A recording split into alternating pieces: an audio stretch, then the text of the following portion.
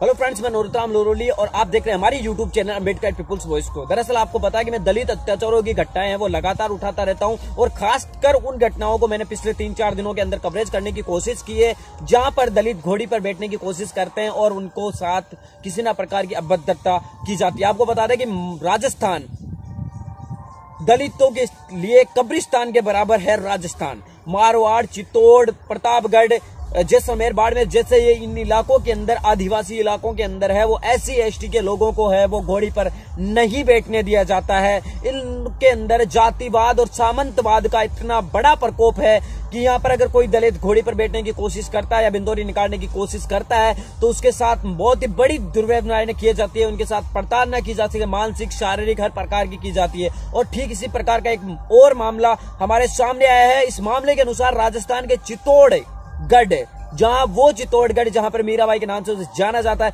उस चित्तौड़गढ़ के अंदर है। दलित अत्याचार का मामला सामने आया। आपको बता दें कि चित्तौड़गढ़ के लक्ष्मीपुरा एक गाँव की गई घटना है, और इस घटना के मुताबिक एक लड़की की शादी थी, और पिता का नाम नथुलाल मेघवाल था, और उन लड़की की शादी के दो दिन वो लड़की की बिंदोरी निकाल रहे थे। जी हाँ लड़की की बिंदोरी निकाल रहे थे और बिंदोरी के अंदर है, वो दबंग जाति जो होती है, अपने आप को जो समझते हैं, उनके लोगों ने पत्थर और मिठाइयाँ भगाई, जो बंडाल में बनाई थी, उसकी तरीके से वो मिठाइयाँ भगाई। जब इस घटना का लड़की के दो भाइयों ने विरोध किया तो उनके साथ बुरी तरीके से मारपीट की गई। दोनों का घायलों का उपचार है, वो चित्तौड़गढ़ के राजकीय अस्पताल में चल रहा है। इस घटना की जो पुलिस प्राथमिकता है वो दर्ज कर दी गई है। लेकिन सबसे बड़ी सवाल यही कि आखिर कब तक जुल्म सहते रहेंगे? जी हाँ आपको बता दें कि लड़की के पिता नथुलाल ने रिपोर्ट दर्ज करवाई है कि लड़की की बिंदोरी निकालने पर दबंगों ने उनके ऊपर मारपीट की है और इस मारपीट के दौरान उनके बेटे रमेश और शिवपाल मतलब लड़की के भाई रमेश और शिवपाल के साथ बुरी तरीके से मारपीट की गई है।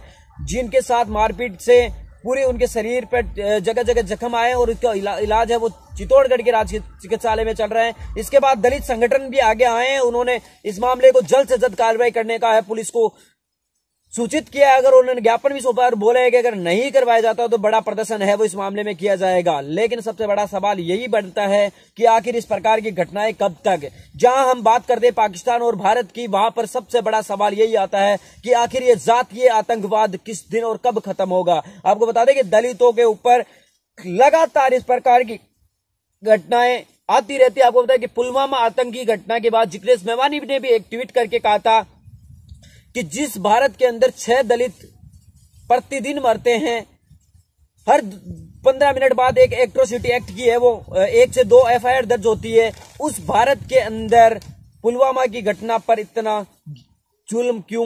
उन्होंने कहा कि इसे प्रेम से आगे बढ़ाना चाहिए। अगर दलित अत्याचार सहने की सत्ता किसी से देखनी चाहिए तो वो दलितों से सीखनी चाहिए। इस प्रकार का ट्वीट की भी किया था, लेकिन सच्चाई है, आंकड़ों के मुताबिक ये सच है कि दलितों के ऊपर हर पंद्रह मिनट के ऊपर एक एक्ट्रोसिटी एक्ट है वो मुकदमा दर्ज होता है। ये वो आंकड़े हैं जिनके दौरान मुकदमे दर्ज हो जाते हैं। अधिकांश मामले आपको बता दें कि राजस्थान, उत्तर प्रदेश जैसे कई इलाकों के अंदर अधिकांश मामलों के अंदर है। वो एफआईआर भी दर्ज नहीं होती। आपको बता दें कि लोगों को गाँव से जाकर एफआईआर भी दर्ज नहीं करवाने दी जाती। ये सरकारी आंकड़े हैं जिसके अनुसार पंद्रह मिनट के बाद एक एफआईआर दर्ज होती है एस के मामले में। लेकिन अधिकांश ऐसे मामले होते हैं जिन मामलों के अंदर पुलिस प्राथमिकता या तो दर्ज नहीं करती या फिर गाँव के अंदर ही उनमें राजीनामा या सम, आपसी समझाइश कर ली जाती है। लेकिन अब ये बड़ा मामला सामने आया कि लड़की की शादी में बिंदोरी निकाल रहे थे। बंदोरी निकालते वक्त दबंगों ने उनके ऊपर कहर बरफाते हुए पूरी तरीके से उनकी मिठाई जो बनाई हुई थी उसको सत्यानाश कर दिया। साथ ही जो लड़की के भाई थे, उनके ऊपर उनको मारपीट की गई। उनके दो भाई है, वो घायल हो चुके हैं बुरी तरीके से। पिता ने है वो प्राथमिकता दर्ज करवाई है पुलिस को। अब पुलिस क्या कार्रवाई करती है, क्या नहीं करती? घटना लिखे जाने तक, ये घटना जब तक हमारे आकलन में आई है, तब तक किसी भी प्रकार की किसी भी व्यक्ति को गिरफ़्तार नहीं किया गया है। पंद्रह से बीस लोगों के खिलाफ है, गाँव के ही बीस लोगों के खिलाफ यह मुकदमा दर्ज करवाया गया है। और इस मामले के अंदर पुलिस क्या कार्रवाई एक्शन लेती है, क्या नहीं लेती है तो आने वाला वक्त बताएगा और समय भी हम आपके साथ लाइव अप टू डेट रहेंगे और आपको जानकारी देंगे। लेकिन बड़ा सवाल है, बरकरार रहेगा कि आखिर कब तक जाती है आतंकवाद। मिलेंगे किसी नई वीडियो के साथ, तब तक आपसे लेते विदा। जय भीम, जय भारत। चैनल पर नए आए तो सब्सक्राइब कर लीजिए और बेल आइकन को दबाना बिल्कुल भी ना भूलें।